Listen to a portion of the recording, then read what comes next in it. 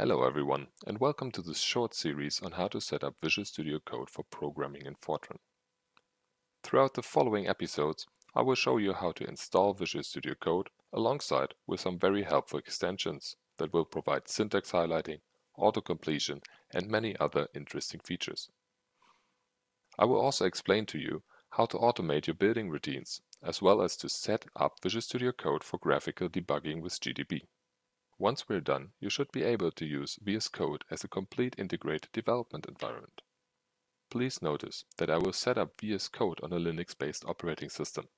If you wish to use these instructions on a Windows or Mac machine, you might need to make some certain modifications that I will not capture here.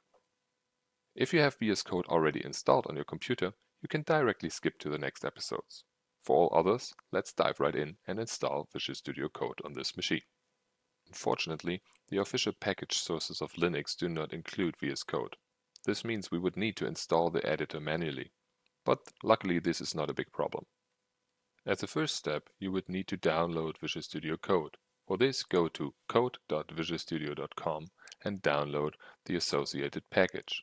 In my case, since I'm running on a Ubuntu Linux system, I would just choose the Debian package here.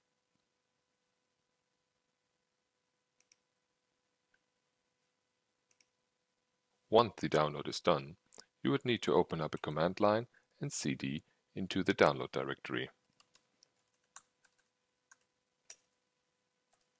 Here you now have the package downloaded to this directory. To install it, just use sudo apt install as well as the package name.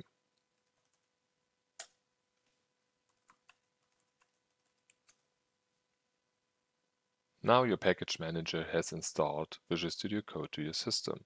If you want to launch it, just type code and you're ready to go. Alright everyone, that's it for this video. In the next episode, I will show you how to set up the most important packages you will need to make VS Code work fine with Fortran. If you have any questions, please feel free to leave a comment below. Otherwise, if you like this video, I would be happy if you hit the like button and subscribe to my channel. See you next time. Bye bye.